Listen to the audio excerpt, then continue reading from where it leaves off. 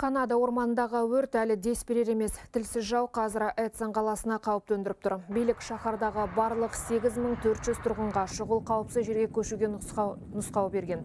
От 200 мыңнан астам гектар жасыл желекті күлге айналдырған. Табиғи апат ошағы Альберта провинциясында 78 өрт тіркелген.